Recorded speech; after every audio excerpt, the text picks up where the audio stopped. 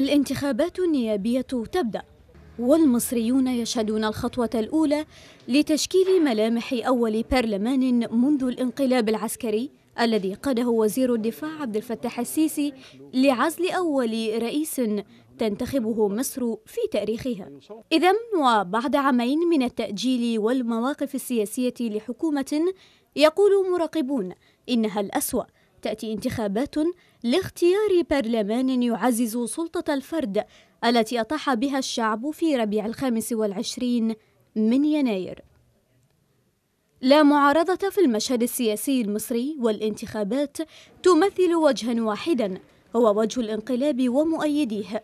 هذا ما يراه مراقبون مصريون من الداخل ويؤكدون أن البرلمان لن يكون ثوريا أو إصلاحيا. ولا يشكل معارضة حقيقية تكبح جماح سلطة الرئيس وتفرده بصنع القرار. 568 عضوا هم من سيشغل مقاعد البرلمان المصري لخمس سنوات مقبلة.